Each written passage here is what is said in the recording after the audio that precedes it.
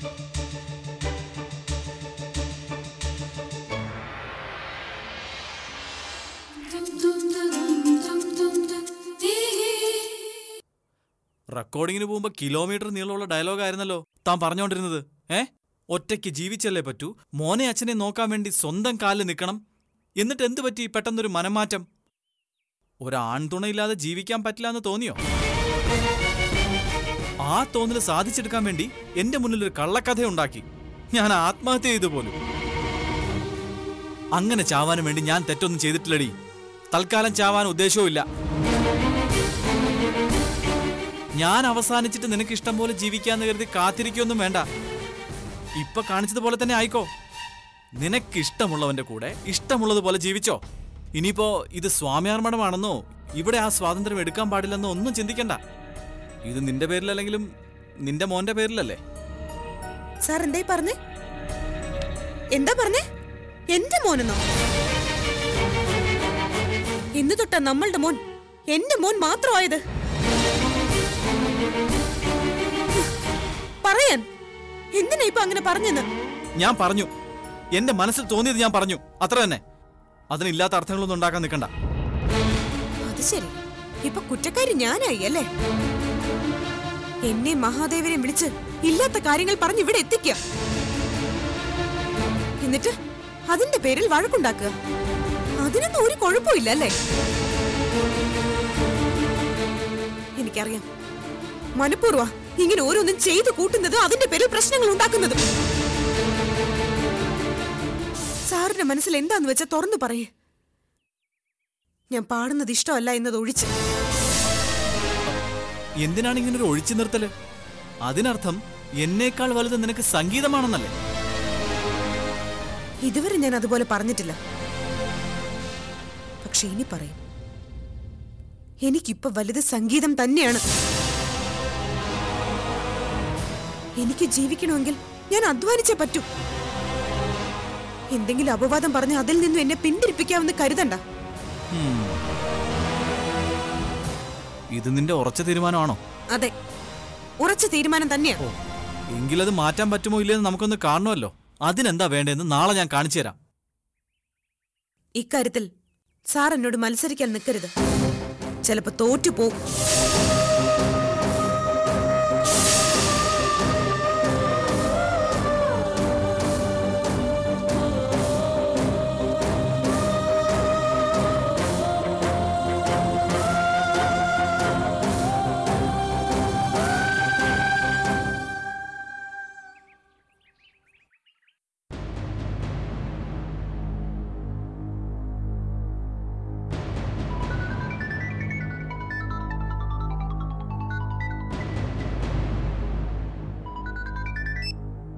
Hello?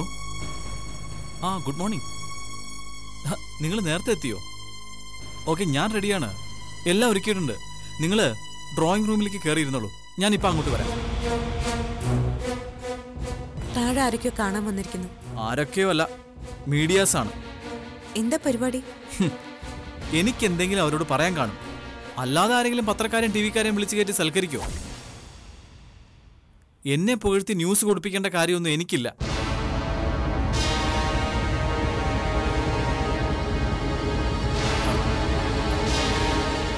ഇനി തന്നെ. ഒരു ധൈര്യത്തിനെ രണ്ടെണ്ണം നല്ലതാ. വെള്ളം വെള്ളമില്ലേ?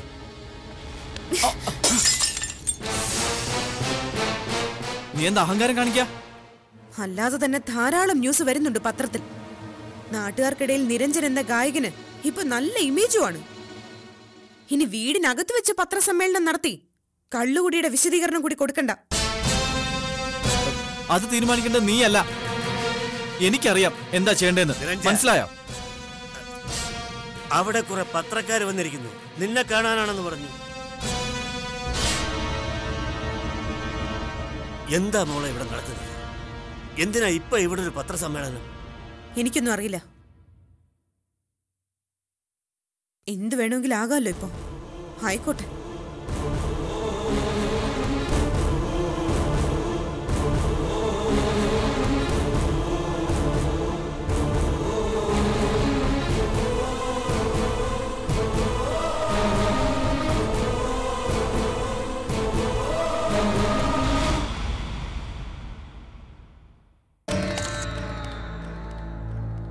നിങ്ങൾ റെഡിയാണെങ്കിൽ നമുക്ക് തുടങ്ങാം. ഞങ്ങൾ റെഡിയാണ് സാർ ഒരു ഫോർമൽ പ്രസ് മീറ്റ് അല്ലാത്തോണ്ടാ നിങ്ങളെ ഞാൻ വീട്ടിലേക്ക് വിളിപ്പിച്ചത്. വിഷമമൊന്നുമില്ലല്ലോ. എന്ത് വിഷമം സാർ? എക്സ്ക്ലൂസീവ് ആയിട്ട് എന്തെങ്കിലും കിട്ടുമെന്നുണ്ടെങ്കിൽ ഞങ്ങൾക്ക് സന്തോഷമേ ഉള്ളൂ.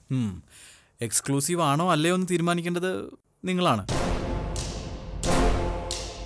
പിന്നെ ഈ പ്രസ് മീറ്റിന് ഒരു പ്രത്യേകതയുണ്ട്. ഞാനിത് വിളിച്ചു ചേർത്തിരിക്കുന്നത് എനിക്ക് വേണ്ടിയല്ല. എന്റെ ഭാര്യ ഉണ്ണിമായയ്ക്ക് വേണ്ടിയാണ്. ഉണ്ണിമായ നിങ്ങൾ അറിയും അല്ലേ? അറിയാം സാർ. മേഡമല്ലേ ഇപ്പോഴത്തെ സ്റ്റാർ. ആ. തൊടുന്നതെല്ലാം പൊന്നാക്കുന്ന ഗായിക എന്നാണ് ഫീൽഡിൽ പറയുന്നത്. ആ പക്ഷേ ഞാൻ ഉണ്ണിമായെക്കുറിച്ച് പറയുന്നത് അത്ര സന്തോഷം തരുന്നൊരു വാർത്തയല്ല. ഉണ്ണിമായ പോലും മനസ്സിൽ ചിന്തിക്കാത്തൊരു സത്യം ഞാനിപ്പോ ഇവിടെ തുറന്നു പറയാൻ പോവുകയാണ്. എങ്കിൽ പിന്നെ മേഡത്തിനെ കൂടെ ഇങ്ങോട്ട് വിളിച്ചൂടെ? ഏയ് അതിന്റെ ആവശ്യമുണ്ടെന്ന് എനിക്ക് തോന്നുന്നില്ല. കാരണം എന്റെ തീരുമാനം തന്നെയായിരിക്കും ഉണ്ണിമായുടേത്.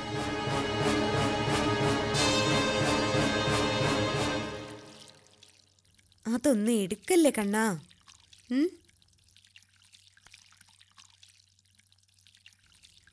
ഏ വീഴും മോനെ വീഴുടാ.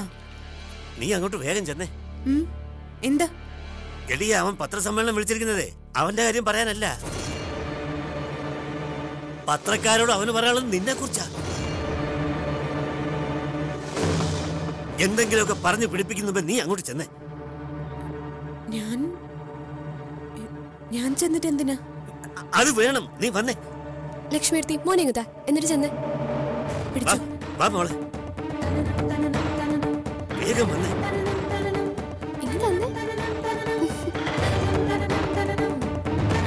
വളരെ ടാലന്റഡ് ആയിട്ടുള്ള ഒരു ഗായികയാണ് ഉണ്ണിമായ എന്നുള്ള കാര്യത്തിൽ ആർക്കും ഒരു സംശയമില്ല പക്ഷേ ചില പ്രശ്നങ്ങൾ. അതാണ് ഇപ്പൊ ഈ മാധ്യമമീറ്റിന് കാരണമായത്. നല്ല ഭംഗിയുള്ള പുഷ്പങ്ങൾ ഏറെ നാൾ നിലനിൽക്കില്ല എന്ന് പറയും. അതുപോലെയാണ് ഉണ്ണിമായയുടെ കാര്യം. ഉണ്ണിമായ സംഗീത ലോകത്തിനോട് വിട പറയുകയാണ്.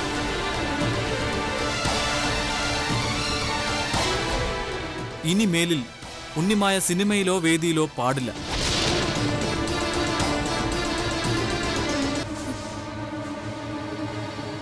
ഇത് മേട അറിയാത്ത തീരുമാനമല്ലേ സർ? അതിനെന്താ?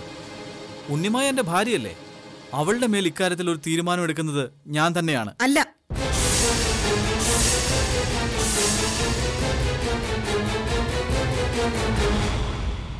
സംഗീതത്തിന്റെ കാര്യത്തിൽ തീരുമാനം എടുക്കുന്നത് ഞാൻ തന്നെയാ.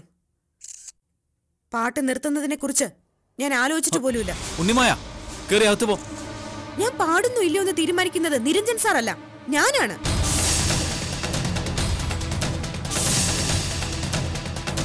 ഞാനൊരു ഗായികയാണ്. ഞാൻ പഠിച്ചത് സംഗീതമാണ് വളർന്നത് സംഗീതത്തിലൂടെയാണ്. ഇനി ജീവിക്കുന്നതും സംഗീതം കൊണ്ട് തന്നെയായിരിക്കും. നിരഞ്ജൻ സാറ് പറഞ്ഞത് മുഴുവൻ വെറുതെയാണെന്നാണോ മാഡം പറയുന്നത്? ഞാൻ പറയുന്നത് എന്റെ കാര്യമാണ്. ഞാൻ പാട്ട് നിർത്തുന്ന പ്രശ്നമില്ല. ഈ സംഭവത്തിൽ നിന്നും നിങ്ങളുടെ കുടുംബത്തിൽ പ്രശ്നങ്ങൾ നീറിപ്പോകുന്നുണ്ടെന്നല്ലേ മാഡം വ്യക്തമാകുന്നത്? എന്താണ് മാഡം യഥാർത്ഥത്തിൽ നിങ്ങൾക്കിടയിലുള്ള പ്രശ്നം? എനിക്ക് പറയാനുള്ളത് ഞാൻ പറഞ്ഞു. നിങ്ങൾക്ക് പോകാം.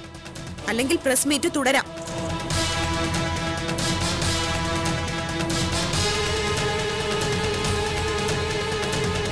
മാഡത്തിന്റെ ഈ പെരുമാറ്റത്തെക്കുറിച്ച് സാറിന് എന്താ പറയാനുള്ളത്?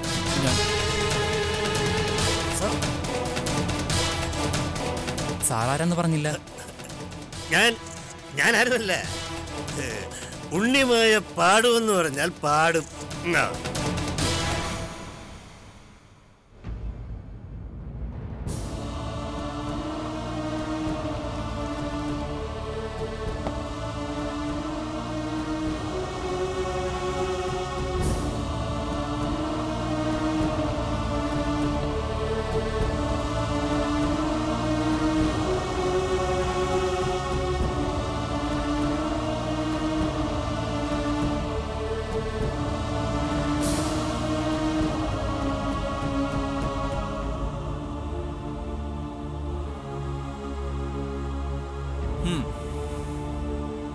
ആ. ഫെന്റാസ്റ്റിക് നന്നായിരുന്നു നിന്റെ പെർഫോമൻസ് ഒരു സെലിബ്രിറ്റിക്ക് യോജിച്ച ബോൾഡ്നസ് സ്വന്തം കാര്യം ആരുടെ മുന്നിലും തുറന്നു പറയാനുള്ള തന്റെ ഇടം ഇതൊക്കെ കൈവന്നിരിക്കുന്നു ഉണ്ണിമായ്ക്ക്. ഞാനുമായൊരു മത്സരത്തിന് ഇറങ്ങാൻ പോകുന്നു എന്ന് പറഞ്ഞപ്പോ ഇത്രയും ഞാൻ പ്രതീക്ഷിച്ചില്ല. ഏതെങ്കിലും വിധത്തിൽ എന്നെ ഒതുക്കണം. എന്നിട്ട് എന്ത് അപവാദം പറഞ്ഞാലും സഹിച്ചും ക്ഷമിച്ചും നിൽക്കുന്ന ഒരു പരുവത്തിൽ പാകപ്പെടുത്തി എടുക്കണം. അത് മാത്രമല്ലേ സാറിന്റെ ഉദ്ദേശം? എന്തൊക്കെയായാലും ആ ഉദ്ദേശം നീ ഭംഗിയായിട്ട് പൊളിച്ചു തന്നല്ലോ. പത്രക്കാർക്ക് എഴുതാനും ചാനലുകാർക്ക് ഫ്ലാഷ് ന്യൂസ് കൊടുത്ത് ആഘോഷിക്കാനും ഒരു നേരം പോക്ക് കിട്ടി. നിരഞ്ജൻ വിളിച്ചു ചേർത്ത മാധ്യമ സമ്മേളനം ഉണ്ണിമായ വന്ന് കുളമാക്കി. കുടുംബ വഴക്ക് മുറുകുന്നു. ഇതിൽ നാണക്കേടേ നിനക്കല്ല എനിക്ക് മാത്രമാണ്. സാർ തന്നെ ക്ഷണിച്ചു വരുത്തിയ ഒരു നാണക്കേടായത് ജീവിക്കാൻ ശ്രമിക്കുന്ന എന്നെ ആ മാർഗം അടച്ചൊതുക്കാൻ ശ്രമിച്ചാൽ ഒതുങ്ങിത്തരാൻ പറ്റില്ല എനിക്ക്. വലിയ ഗായികയാകും ആക്കും എന്നൊക്കെ പറഞ്ഞ് എന്നെ കൊണ്ടു നടന്ന ആളാ നിരഞ്ജൻ സാറ്. ഓരോ തവണ എനിക്ക് വയ്യ വയ്യ എന്ന് പറഞ്ഞപ്പോഴും എന്നെ നിർബന്ധിച്ച് ഫീൽഡിലേക്ക് ഇറക്കിയത് സാറാ. എന്നിട്ടിപ്പോ കോംപ്ലക്സും സംശയവും. അത് സഹിക്കാൻ എനിക്ക് ബുദ്ധിമുട്ടുണ്ട്. കോംപ്ലക്സ് മൂത്ത് ഭാര്യയുടെ പാട്ട് നിരഞ്ജൻ നിർത്തി എന്ന് എഴുതുന്നതിനേക്കാൾ അഭിമാനം. അത് ഞാൻ തിരുത്തി എന്ന് പത്രങ്ങൾ എഴുതുന്നതിൽ എനിക്കുണ്ട്. ഇന്നലെ ഞാൻ പറഞ്ഞതാ ഇക്കാര്യത്തിൽ എന്നോട് മത്സരിക്കരുതെന്ന്. ആരെയും തോൽപ്പിക്കാൻ വേണ്ടിയൊന്നുമല്ല. എനിക്ക് ജയിച്ചേ പറ്റൂ. അതുകൊണ്ടാ.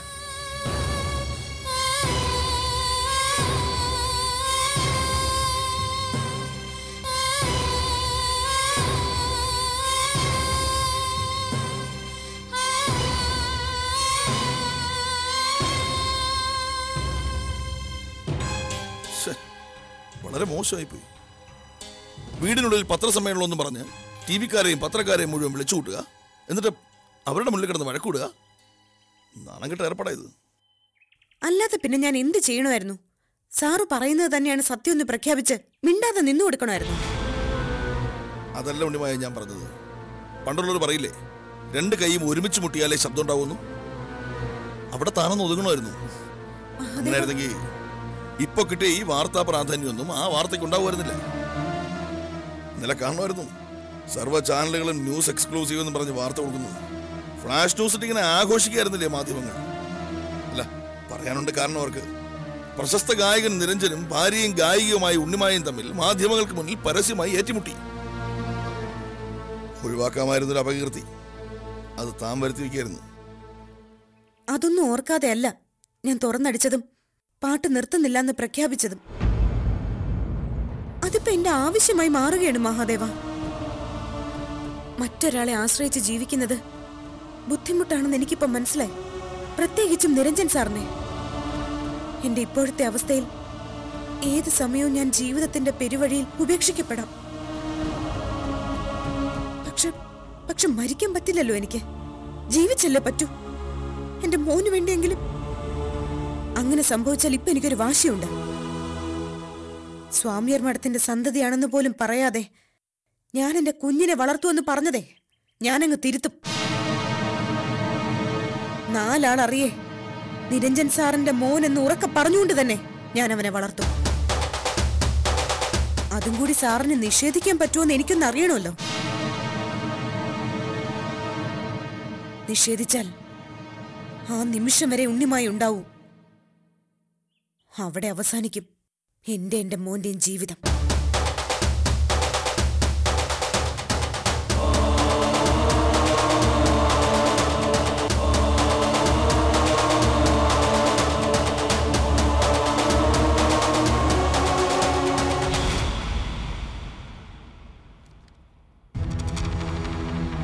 ഉണ്ണിമായ പാടുന്നില്ല എന്നറിയിക്കാൻ വേണ്ടി നിരഞ്ജൻ പത്രസമ്മേളനം വിളിക്കുന്നു. ആ പത്രസമ്മേളനത്തിലേക്ക് ഇടിച്ചു കയറി എന്ത് സംഭവിച്ചാലും ഞാൻ പാടുമെന്ന് പ്രഖ്യാപിക്കുന്ന ഉണ്ണിമായ. സംഗതി കൊള്ളാം. ഒരു സിനിമാ കഥയിലെ ഹരം കൊള്ളിക്കുന്ന രംഗം പോലെ ഉണ്ടിത്. ഇതൊന്നും നമ്മുടെ പ്ലാനിങ്ങിൽ പെടുന്നതല്ലല്ലോ സ്വാമി. ഈശ്വര കടാക്ഷം പിന്നെ ജാതവേദ സ്വാമികളുടെ പ്രാർത്ഥന. ഉണ്ണിമായ്ക്കും നിരഞ്ജനും ഇടയിലുള്ള ശത്രുത പരസ്യമാവുക എന്ന് പറഞ്ഞാൽ അതത്ര നിസ്സാര കാര്യമല്ല. മറ്റുള്ളവരെ ബോധിപ്പിക്കാൻ പോലും സ്നേഹം അഭിനയിക്കേണ്ട കാര്യം ഇനി അവർക്കില്ല. സിനിമാക്കാരെ കുറിച്ച് വലിയ ധാരണ എനിക്കില്ലായിരുന്നു. അടുത്ത് പരിചയപ്പെട്ടിട്ടില്ല ആരെയും. നിരഞ്ജനെയും ശങ്കറിനെയും അല്ലാതെ. പക്ഷേ ശിഷ്യരിൽപ്പെട്ട ചില സംവിധായകർ പറഞ്ഞു കേട്ടിട്ടുണ്ട് ആ ലോകത്തെ ചില കളികളെക്കുറിച്ച്. ഒന്നാന്തരം സിനിമാക്കാരനായ നിരഞ്ജനിൽ നിന്നും അങ്ങനെയൊന്നും നമുക്ക് പ്രതീക്ഷിച്ചുകൂടെ? മനസ്സിലായില്ല. മദ്യപിച്ച് ലക്കുകെട്ട് നട റോഡിൽ നിരഞ്ജൻ കിടന്നാൽ പോലും പത്രക്കാർ അതിനെ ഒറ്റക്കോളത്തിലെ വാർത്തയായി ഒതുക്കിക്കളയും. ചാനലുകാർ കണ്ടില്ലെന്നടിച്ച് വഴിമാറി നടക്കും. സിനിമാക്കാരനെ സംബന്ധിച്ചിടത്തോളം അതൊരു കുറവ് തന്നെയാണ്. നാലാം പേജിലെ രണ്ടു കോളം വാർത്തയിൽ ഒതുങ്ങേണ്ട നിരഞ്ജന പത്രസമ്മേളനത്തിനെ മുൻ പേജിലെ നാല് കോളം വാർത്തയായി വളർത്തിയതെന്താ? മാധ്യമങ്ങൾക്ക് മുന്നിൽ ഉണ്ണിമായും നിരഞ്ജനും ചേർന്ന് നടത്തിയ നാടകം. നാടകോ? എന്താ? അങ്ങനെയല്ലെന്ന് ഉറപ്പിച്ച് പറയാൻ പറ്റുമോ നമുക്ക്? വേണമെങ്കിൽ അങ്ങനെയും ആകാം. ഒരുതരം ചീപ്പ് മീഡിയ പബ്ലിസിറ്റി. ശ്രദ്ധ ക്ഷണിക്കൽ ഞാനും ഇവിടെ തന്നെ ഉണ്ട് എന്ന് വേണ്ടപ്പെട്ടവരുടെ മുന്നിൽ നടത്തുന്ന ബോധ്യപ്പെടുത്തൽ എന്താ ആയിക്കൂടെ?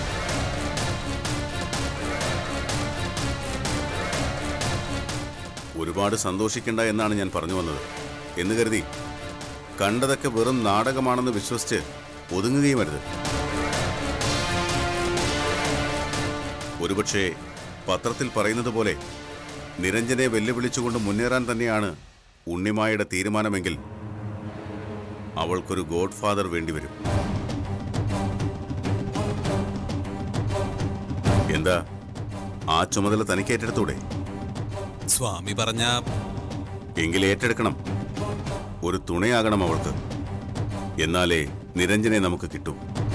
വേണ്ടേ ഹണി നമുക്കവനെ? വേണം. നിരഞ്ജനെ തനിച്ച് വേണം നമുക്ക്. ഓരോന്നോരോന്നായി എണ്ണി എണ്ണി പറഞ്ഞ് പ്രതികാരം ചെയ്യാൻ. എങ്കിൽ ഇനി ഒന്നിലും നമ്മൾ നേരിട്ടിടപെടുന്നില്ല പതിയിരിക്കണം. ചെന്നായ പോലെ.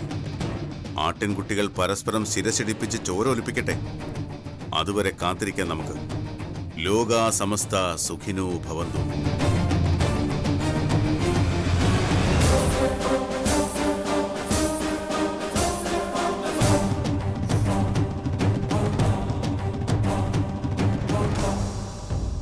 ഇതിങ്ങനെ വിട്ടാൽ ശരിയാവില്ല പോറ്റിയമ്മാവ ഇന്ന് നേരെയാവും നാളെ നേരെയാവും എന്നൊരു പ്രതീക്ഷ ഉണ്ടായിരുന്നു എനിക്ക്. ഇപ്പൊ അതുമില്ലാതായി നീ പറഞ്ഞത് വെച്ച് നോക്കിയാ. ഇനി പ്രതീക്ഷയ്ക്ക് വകയുണ്ടെന്നൊന്നും എനിക്ക് തോന്നുന്നില്ല. കാര്യം അങ്ങനെയാണ്. വീണ്ടും ആ ഹണിയുമായി ചേർന്ന് ആവശ്യമില്ലാത്ത പണികൾക്ക് ഇറങ്ങിയിരിക്കല്ലേ കലയിലും രാഷ്ട്രീയത്തിലും സ്ഥിരമായിട്ട് ശത്രുക്കളോ മിത്രങ്ങളോ ഇല്ലാന്നാണ് പറയാറ്. ഇന്നത്തെ ശത്രു നാളെ മിത്രമാവും. മിത്രം ശത്രുവാവും. നിരഞ്ജൻ സാറ് ഹണിയായിട്ട് ചേർന്നതിനെ അങ്ങനെ കണ്ടാ മതിയായിരുന്നു. പക്ഷെ അതുകൊണ്ട് എന്തെങ്കിലും പ്രയോജനം ഉണ്ടാവണ്ടേ? അല്ല പ്രയോജനത്തിന്റെ കാര്യമൊക്കെ നിനക്കും അറിയാവുന്നുള്ളതല്ലേ പരിപാടി എന്നും പറഞ്ഞ് നാട് മുഴുവൻ അനൗൺസ്മെന്റ് നടത്തുക. എന്നിട്ട് എവിടെയെങ്കിലും കുടിച്ച് ബോധം കെട്ട് പത്രക്കാർക്ക് വിഷയം ഉണ്ടാക്കുക. ഇതല്ലേ ഇപ്പൊ അവൻ ചെയ്യുന്നത്? ഇതെല്ലാം പോരാഞ്ഞിട്ടല്ലേ പത്രക്കാരെ എല്ലാം സ്വന്തം വീട്ടിനകത്തേക്ക് വിളിച്ചു കയറ്റിയത്? ഒരാൾ പാടാനും ഒരാൾ പാട്ട് മുടക്കാനും എന്തായാലും ദിവസവും വാർത്ത ഉള്ളതുകൊണ്ട് സീരിയൽ കാണുന്നത് പോലെ വായിച്ച് രസിക്കാം. പുറമേ നിന്ന് നോക്കുന്നവർക്ക് നല്ല രസോപര്യമാവാ. പക്ഷെ ഇതിന്റെയൊക്കെ നടുവിൽ കിടന്ന് പിടയുന്ന ഒരു പെണ്ണുണ്ട് ഉണ്ണിമായ. അതിന്റെ വിഷമം ഓർക്കുമ്പോഴാ എനിക്ക് സഹിക്കാൻ പറ്റാത്തത്. അല്ല അതിനിപ്പോ നമുക്ക് എന്താ മഹാദേവ ചെയ്യാൻ പറ്റുന്നത്? ഉണ്ണിമായുടെ അവസ്ഥ പോറ്റിമാണെന്ന് ആലോചിച്ച് നോക്കിയേ. ആരെങ്കിലും ഉണ്ടോ ഉത്തരവാദിത്തോടൊന്ന് സംസാരിക്കാൻ? ഒരച്ഛനാണെങ്കിലും ഉള്ളത് ഇല്ലാത്തതൊക്കെ കണക്കാ. നിരഞ്ജ സാറിനെ നിയന്ത്രിച്ചിരിക്കേണ്ട അമ്മയാണെങ്കിലോ? ധ്യാനം എന്ന് പറഞ്ഞു തഞ്ചാവൂരും. ഏ, ദ്രൗപദി അന്തരജനത്തിന്റെ ഒരു അനീതിയില്ലേ അവിടെ? ആ ഫസ്റ്റ്. ഇരുത്തി എവിടെ ഉണ്ടെന്ന് പറഞ്ഞ് നോക്കി നടക്കുക അവർ എണ്ണ ഒഴിക്കാൻ. സത്യമാണാ സത്യമാടാ നീ പറഞ്ഞത്. ഉണ്ണിമായയ്ക്കും നിരഞ്ജൻ സാറിനും ഇടയിൽ നിന്ന് സംസാരിക്കാനും അവരുടെ പ്രശ്നങ്ങൾ പറഞ്ഞു തീർക്കാനും ആരുമില്ല അവിടെ. ഞാൻ ഒരു കാര്യം പറഞ്ഞ പോറ്റിമാവൻ കേൾക്കുമോ എനിക്ക് കാര്യങ്ങൾ പറഞ്ഞ് മനസ്സിലാക്കാൻ പറ്റുന്നൊരു സമയം ഉണ്ടായിരുന്നു ഇപ്പോൾ അത് കഴിഞ്ഞു. ശത്രുക്കളുടെ പട്ടികയിലാണ് ഇപ്പം ഞാനും? പക്ഷേ പോറ്റിമാവൻ അതിന് കഴിയും. ആദ്യം പോറ്റിമാവൻ പോയി നിരഞ്ജൻ സാറിനോടൊന്ന് സംസാരിക്കും. ഞാൻ പോയി എന്ത് സംസാരിക്കാനാ മഹാദേവ? എന്ത് സംസാരിക്കുന്നു എന്നല്ല.